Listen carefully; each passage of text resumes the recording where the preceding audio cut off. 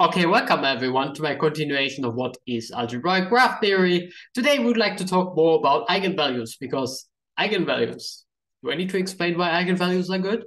Eigenvalues are awesome. If you don't know what eigenvalues are, you should learn about eigenvalues. Just kidding. Uh, we continue our story about eigenvalues. Again, because eigenvalues are just fabulous. So there was this fabulous statement that essentially path counting is the same as computing eigenvalues. So we should compute the eigenvalues of certain graphs. So right now we are only playing with the maximal eigenvalues, as Perron Frobenius eigenvalue, but eventually we like to play with other eigenvalues as well. So why not compute the whole spectrum um, or spectra in general, which is just a set of eigenvalues. And really, um, I just show you computations today, and eventually we'll do something with those computations. So next time there will be a classification result depending on eigenvalues, which is one of my favorite classification results ever because it kind of is very surprising. It's kind of a very surprising statement. But first, let's look at eigenvalues of some graph examples. So kind of the easiest graphs. I would really just consider the easiest graphs. What are the easiest graph? Well, you could be can be a very generous graph. Well, you are you are a graph. I'm a graph. We're all graphs, and you can be a very generous graph, uh, like the complete graph. And the complete graph is just saying you have a certain number of vertices. So six here in my example, and n in general. Those six vertices, I just marked them for you. Uh, one, two, three, five, six, and we are very generous. So everything is connected to everything. Yeah. So we have lots of edges. So here, let me draw a smaller example. So here's K3. So everything should be connected to everything. So it will be a triangle. Um, K4, let me draw K4 as well. It's not the square because everything is supposed to be connected with everything. And right now here, my top vertex, uh, my top left vertex and my bottom right vertex, they're very lonely. So let's connect them and same here. And that would be K4. So this is K4 and this is K3, just a complete graph on the number of vertices. Keep in mind, the slogan is very generous. So everything is connected to everything, right? And well, we want to count paths in this beast. And yeah, well, since everything is connected to everything, there should be quite a few paths. So a, a lot of them actually. And this is something you can actually just tell by look at the spectrum. So the spectrum has a lot of minus ones, ignore them, and then there's one eigenvalue, which is very, very large compared to everything else of size n minus 1.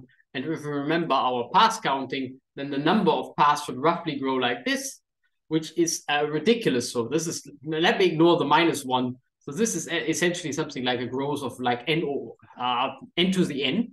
So n to the n, that, that, that grows really, really fast. Okay, as somehow expected. And you can see that in the spectrum. So the spectrum is really simple a lot of minus ones. So this is just, this is not to the power min n minus one, this is a multiplicity. So you have one eigenvalue n minus one, and n minus one eigenvalue is minus one.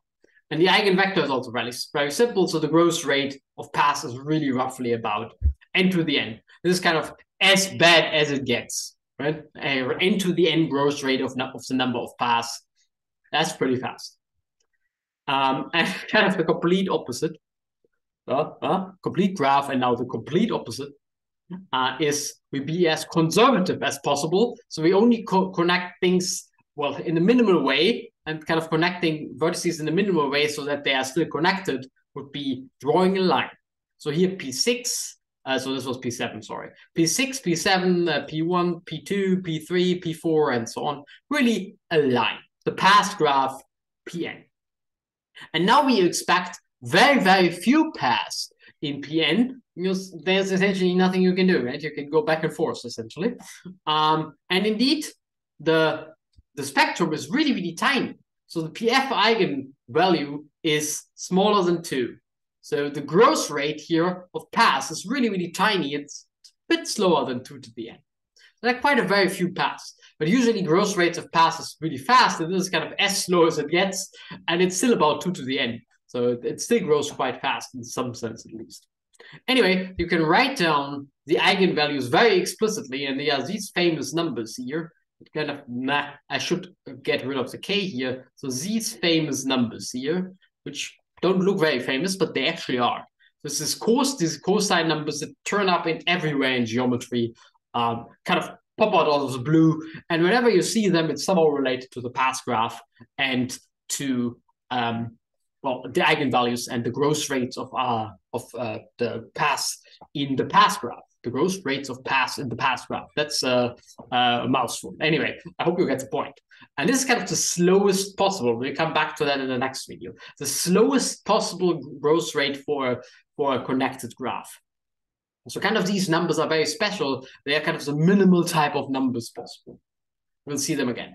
I'm going to ignore the PF eigenvalue, uh, eigenvector for this video, um, but it's very explicitly uh, written. It's not hard to write it down. Okay, so here n minus 1 grows ridiculously fast, and this one kind of doesn't really depend on n, so it always stays below 2, the PF eigenvector, while this kind of gets the PF eigenvalue, while this, of course, gets as big as you want. Kind of the really two extremes um, of of graphs theory, if you want. And here are some examples of the spectra of small graphs. Um, so as you can see, it kind of, whatever those numbers are, so tau is around 1.6. Here's my tau. Um, rho is about 2.5. So here's my rho. And the, the zetas are the roots of this polynomial. So the biggest one is around 2.17. Uh, so here's rho. And small graphs ignore the non-connected ones. So let's ignore the non-connected ones. This is non-connected, non-connected, non-connected, non-connected, non-connected. Let me see, non-connected. The rest is connected. If you just look at the connected ones, you'll see some pattern. So it's quite difficult for uh, the Perron-Frobenius eigenvalue to be smaller, smaller, let me just say smaller or equal to 2. So here the Perron-Frobenius eigenvalue is smaller or equal to 2. Here it is, but this is still a line graph. It's some sense a line graph, it's a circle. But anyway, this is a line graph, and square root of 2 is smaller than 2. If you, in case you were not aware, square root of 2 is smaller than 2. And we don't count this one, we don't count this one. Here, this is not a line graph, and you immediately see that this doesn't work because the Perron-Frobenius eigenvalue is bigger than 3. Here, rho, uh, bigger than 2. Rho is also bigger than 2, and again, it's not a line um, this, let me count this as a line graph. Here, again, the whatever it is, is bigger than 2, and it's not a line graph. Here, square root of 3, in case you're not aware, square root of 3 is smaller than 2. Um, it is, believe me. Um, and this is kind of fun, because this graph is not a line graph. It looks, it looks like this. Well, very strange. So here's a line graph. Let me give it a question mark. Here's a line graph where the Perron-Frobenius, a non-line graph where the Perron-Frobenius eigenvalue is smaller than 3. And in the next video, I will do something with that. Uh, oh, this one is not connected. I need to cross it out.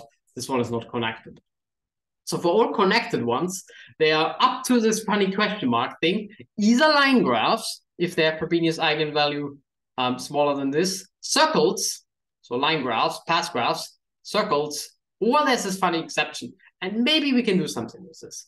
Um, but you can already see here, there are really not many graphs where the Perron-Frobenius eigenvalue is small. So in general, well, in this case, there are quite a few graphs because it's a small case. It only goes up to three vertices, four vertices.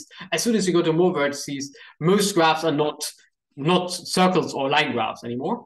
And usually the Frobenius Perron eigenvalue gets pretty, pretty large, which tells you something about kind of the minimal growth rate we can possibly see in a line graph and general graphs just have a really, really large growth rate. So general graphs are, let me say, random graphs are really more like uh, complete graphs and the Perron-Frobenius eigenvalue is usually very big.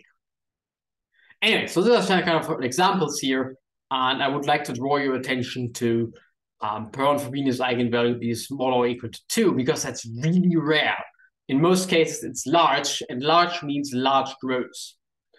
Um, anyway, so as we will see in kind of the first part of this lecture series will be that a lot of properties of the graph, we'll see more. We've already seen uh, the path counting actually are determined by the spectrum. So here's something funny. Um, this, you could ask then the question, okay, the spectrum is cool. We'll see lots of properties that can be determined by the spectrum. Easy to compute, that's great. Uh, maybe it's perfect in a kind of a perfect graph invariant. Sadly, it's not. So co-spectral would mean uh, two graphs that are not the same, which have the same spectrum, and they exist. So here are two co-spectral graphs. So if you stare at those, well, it's not really a staring exercise. It's kind of very believable that those two graphs are not the same. But if you would compute the spectrum, you would see that they have exactly the same spectrum. So here the Perron Frobenius eigenvalue, by the way, is four, and this is very far away from any type of line graph. Anyway, so the whole point of the first part of this lecture series is that the spectrum, which is really easy to compute, contains a lot of information about the graph, but it's not perfect. And that's good.